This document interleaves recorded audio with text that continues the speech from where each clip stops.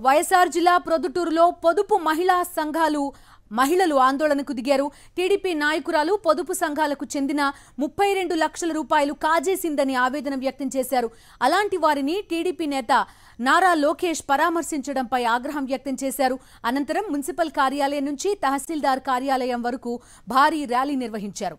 మహిళలు చేపట్టిన ర్యాలీకి మద్దతుగా ఎమ్మెల్యే రాచమలు శివప్రసాద్ రెడ్డి ఈ ర్యాలీలో పాల్గొన్నారు. పొదుపు సంఘాలకు చెందిన డబ్బును అధికారులు రికవర్ చేయాలన్నారు.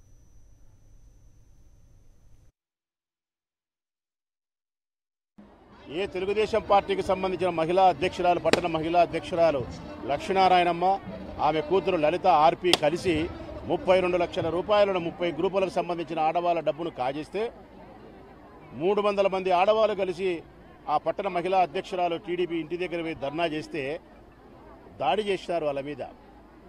దాడి చేయడమే కాకుండా మరుసటి దినం Telugu Desam party incharge Praveen Kumar Reddy press meet పెట్టి లక్ష్మీనారాయణం అనే తెలుగుదేశం పార్టీ మహిళా అధ్యక్షురాలు ఏ అన్యాయం చేయలేదని మూడు వందల మంది మహిళలు పొదుపు సంఘాలకు సంబంధించిన మహిళలు అబద్ధం చెప్తున్నారని వాళ్ళ డబ్బు కాజేయలేదని అసత్య ప్రచారాన్ని మీడియా ముందుకు చెప్పడం అనేది సిగ్గుచేటు.